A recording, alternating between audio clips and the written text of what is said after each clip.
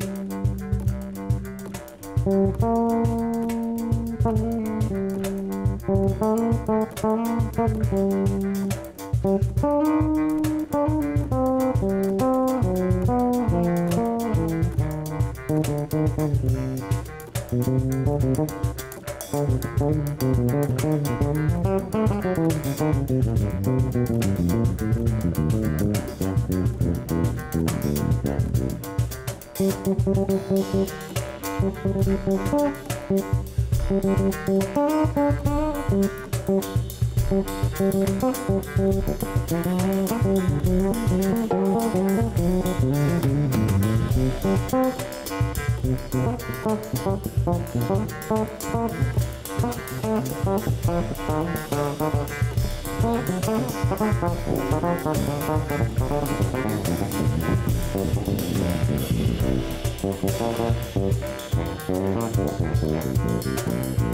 you.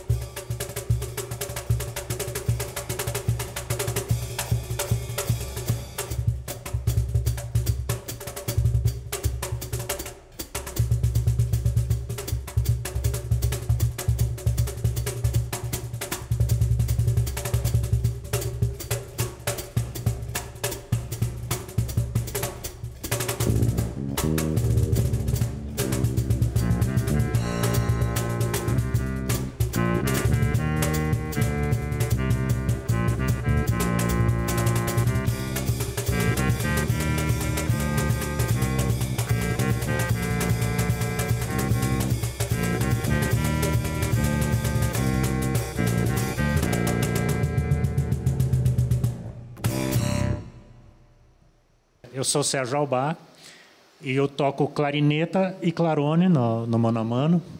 A clarineta é um instrumento mais conhecido, né? É um instrumento mais popular, mas muito ligado à música brasileira, né? Mas é um instrumento muito versátil, né? Você vai encontrar ele na música erudita, no jazz, né? Na música da, de Israel, né? Tem muita tem, tem é um instrumento muito popular. O clarone, que é o clarinete baixo, é da família das clarinetas. Às vezes as pessoas confundem com, com o sax tenor ou alguma coisa assim. Não, ele é de madeira mesmo. E ele é o, o como se diz assim, ele é uma oitava abaixo da clarineta. Então ele é da família das clarinetas. Veio muito depois, né? A clarineta, ela vem mais ou menos de 1700, o clarone, ele ele começa a entrar em orquestra e a ser usado mais assim em 1810, mais ou menos, quase um século depois. Eu sou Vina Lacerda, eu toco percussão. Existe sempre esse, é, essa, essa brincadeira de, né, que que o percussionista, quando passa para esse set parecido com a bateria, a gente chama de percuteria, né? Mas eu sou. Eu, eu acho que eu me intitulo um pouco como um ritmista, né? E a percussão, a bateria, ela é um conjunto de instrumentos de percussão. Então a gente trabalha um pouco nesse universo dos tambores, né? De tudo que é possível ser percutido e criando esses timbres já que existe essa possibilidade de a gente utilizar diversos tipos de estruturas, né, de objetos para poder trazer esses timbres para vestir as canções. Então, o meu universo, né, eu sempre brinco com isso, a família dos meus instrumentos é a maior família de instrumentos que existe, porque é, tudo pode ser percutido, né? Então, eu sou um ritmista. Meu nome é Glauco Souter, eu toco baixo há 35 anos já. E aqui no Mano a Mano Trio eu uso o meu baixo cinco cordas, que não é nenhuma novidade hoje, mas para quem começa a entender agora sobre instrumentos, normalmente o baixo tem quatro cordas, o baixo original. E aí depois o baixo foi evoluindo para outros uh, ah, tipos de, de, construções onde tem mais cordas, né? Cinco, seis, sete, oito. Os caras foram em limites assim absurdos até, sabe? Tem, tem mais, tem, tem situações bem é, engraçadas. Mas o baixo cinco cordas, o, até o baixo seis cordas são bem comuns a gente encontrar. E eu utilizo muito o baixo cinco cordas porque também me dá uma facilidade de eu trabalhar em funções diferentes aqui no trio.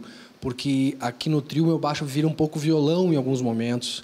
Né? Então ele sai um pouco da função baixo e eu, é, como é natural essa pesquisa de harmonia no instrumento, então é, o baixo para mim naturalmente eu uso muitos acordes, acordes e as levadas de baixo né, continua na função baixa, mas eu uso muito ele como violão, é, muitas vezes também fazendo melodias é, agudas, ou, ou explorando a parte mais aguda do baixo, assim, é muito comum né, acontecer isso.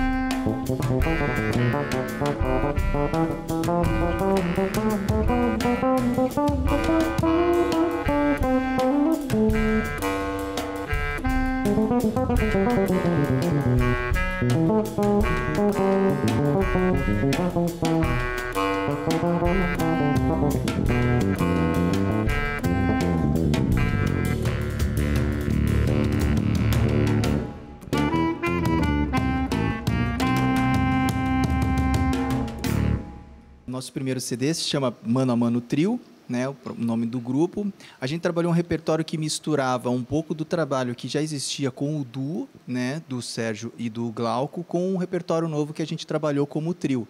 Eu acho que o disco é de 2010 ou 2011, 2010, né? É, depois a gente fez o Tripolar em 2014, é, esse repertório do Tripolar ele já traz uma mistura desses repertórios que a gente compôs nesses vários que a gente compôs, que a gente arranjou nesses vários é, anos de, de grupo, de trio, né, nesses cinco anos. Então traz uma composição do Glauco, traz também uma composição do Sérgio. Não, não, traz não, do Valtel. Do Valtel, perdão, a do Sérgio é no primeiro CD, né, que tem uma, uma composição sua.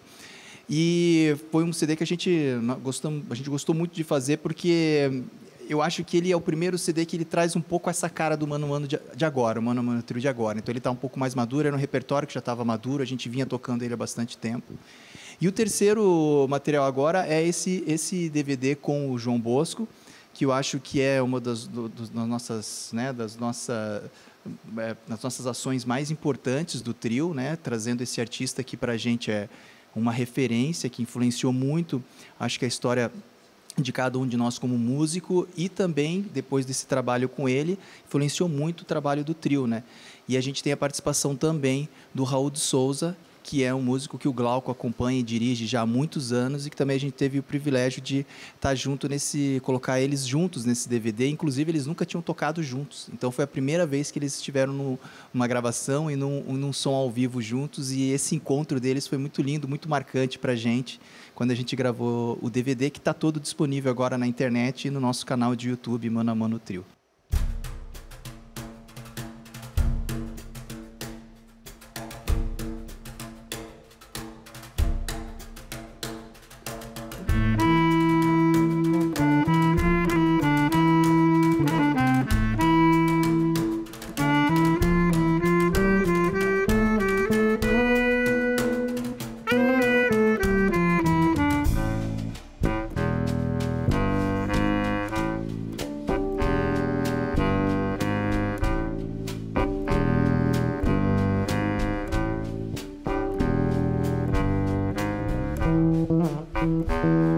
Música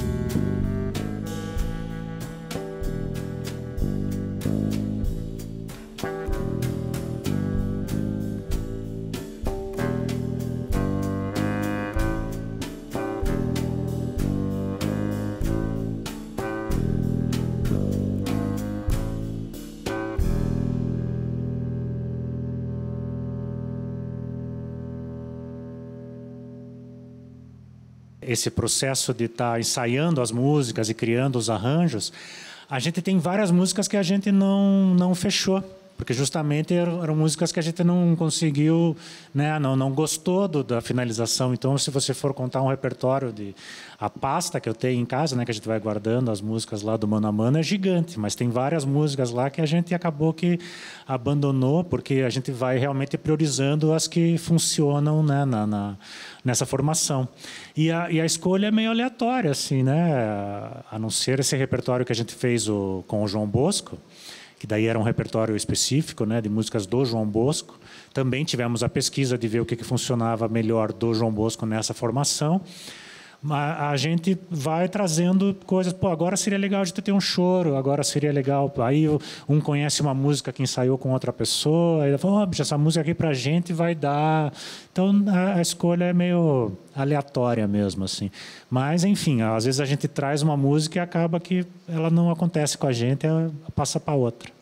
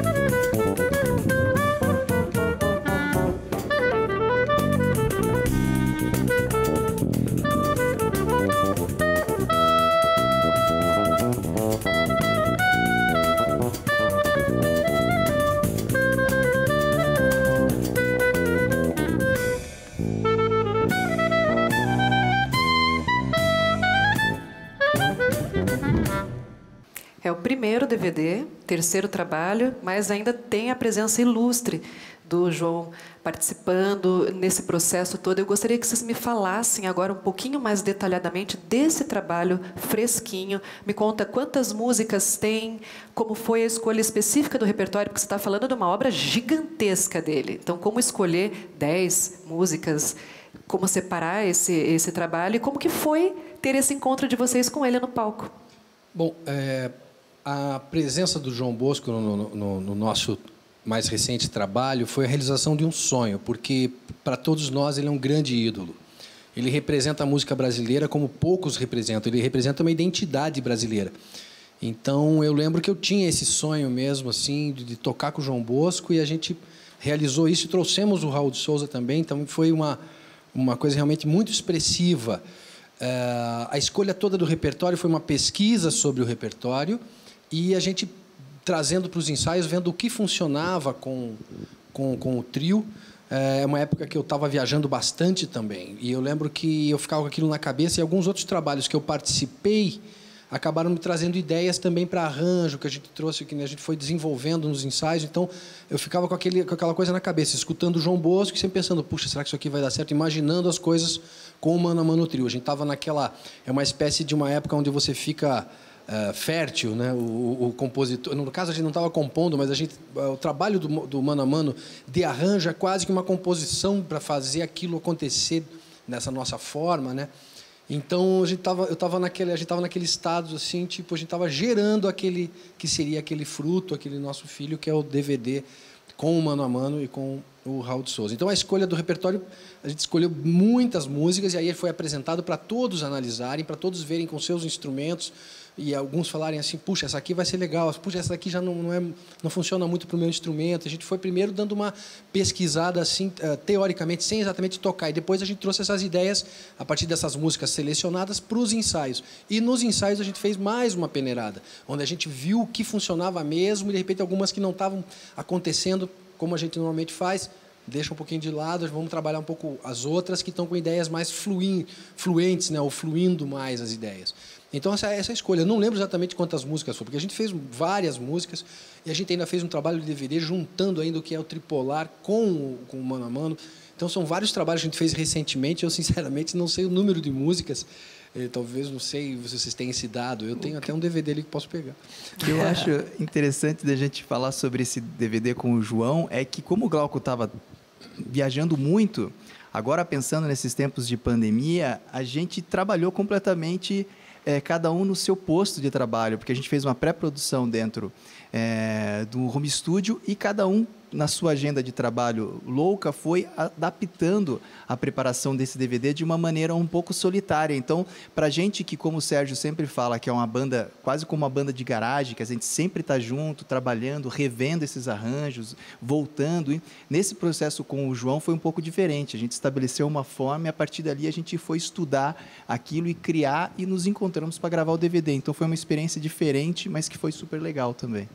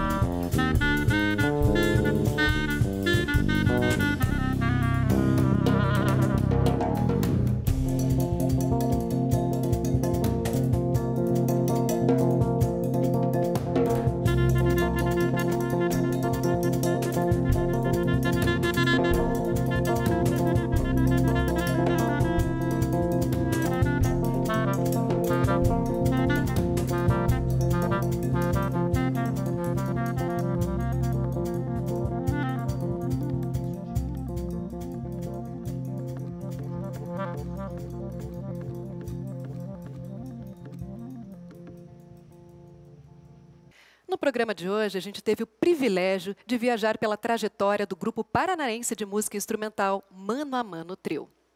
Se você quiser conhecer um pouquinho mais da história de cada um dos três integrantes ou ainda saber mais músicas dos CDs deles, acesse esse link que aparece aqui na tua tela. Eu agradeço demais você pela sua companhia e o Mano a Mano Trio pela parceria. Foi muito bom estar aqui com música de qualidade hoje. Em breve, a gente tem mais novidades para você. Até o nosso próximo encontro no Território Aberto. Tchau, tchau!